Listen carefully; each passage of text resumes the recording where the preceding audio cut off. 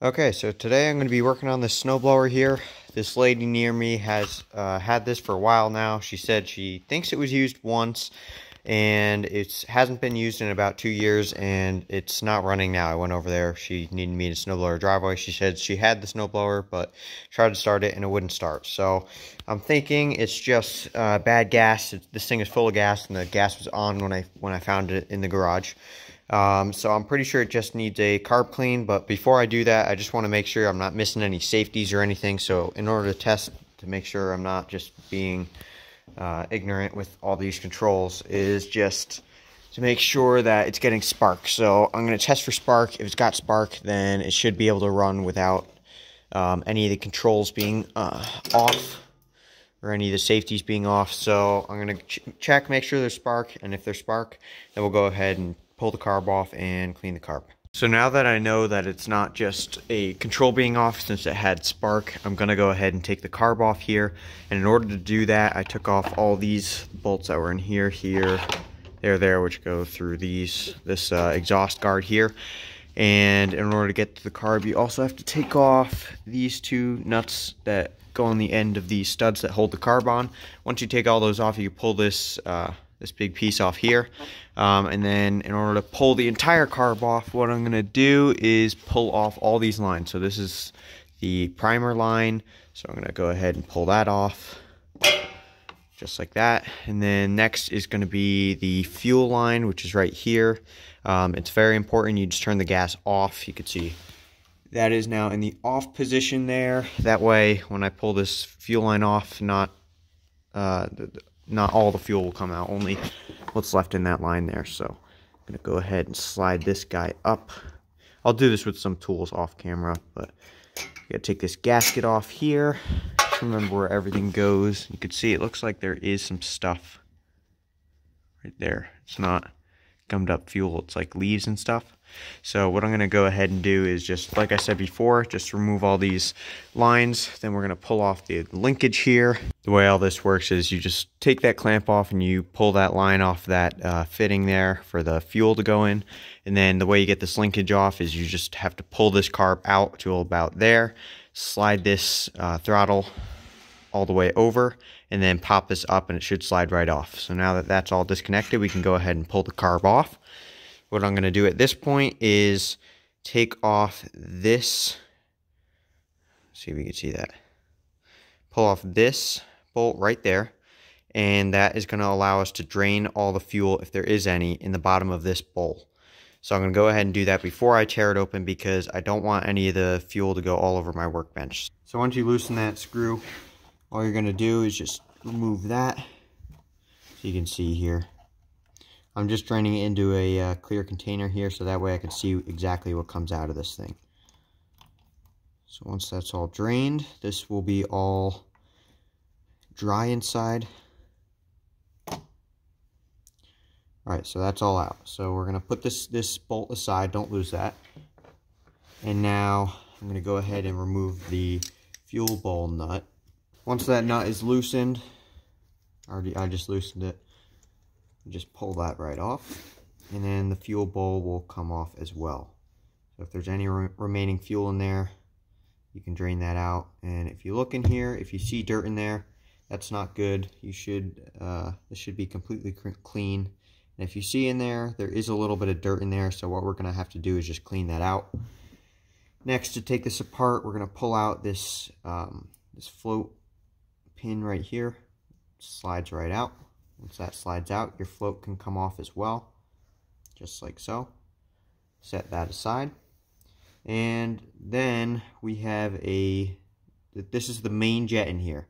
And that is probably going to be the issue. Um, so if that's clogged, it won't let any fuel into the engine.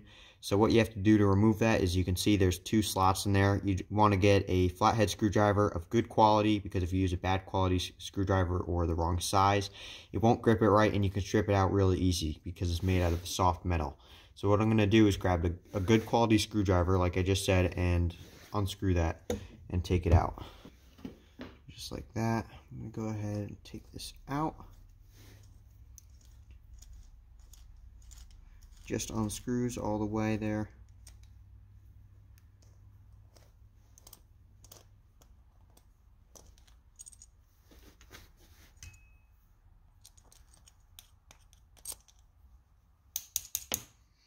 All right, and just like that, it pops out. So once you pop that out, you can look through it. If you can see light through it, there should be a tiny little hole in there. And if you can see light through it, it's not clogged or it's not very clogged. So in this one, you can't see anything through it, which means it is clogged. So we're going to have to blow that out with compressor. Actually, you can see a little bit through, but it should be bigger than that. So we can tell that that is in fact clogged and that's probably our main issue. So I'm going to go ahead and clean this out. What I'm going to do is grab some carb cleaner. You see I have my carb cleaner. It's pretty cheap at Tractor Supply. And then I'm going to take this outside, stick this in the little jet hole, and just spray this out. That should clean it out. Then I'm going to spray all the internal parts. So I'm going to spray this fuel bowl down. I'm going to spray this float here, but we want to make sure to not get the carb cleaner on the little seat, which is that rubber piece on top of the uh, float needle there, because the carb cleaner will eat away at the rubber. And that that's the same for this little O-ring that, that uh, seals with the fuel bowl there. We don't want to get carb cleaner on that because it'll eat away at the rubber. So I'm going to remove this, this uh, O-ring here Make sure we don't get the carb cleaner on this uh, needle. And then we'll just spray everything off. We're going to spray it through this this hole here and the uh, um, this this part of the carb here. And it should be all clean as well as all these little passages as well. So since this thing is all cleaned up now, I just blew everything out and cleaned it with carb cleaner. I'm going to go ahead and re reinstall everything. So first, we're going to start with this float here just the same as we took it off. I'm gonna put that on there, slip that in, then just put the pin back in, just slides in with your hands, just like that. Make sure that's functioning properly.